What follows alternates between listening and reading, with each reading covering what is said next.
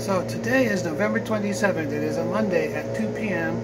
And the guys are definitely here doing the leaves, as you can see. I wanted to get a record of the fact that they're here. It's been over almost a month since they were here last to do the grass. But they have a bunch of guys blowing the leaves as here as well as the house next door. Uh, so here's a record of the fact that they were here.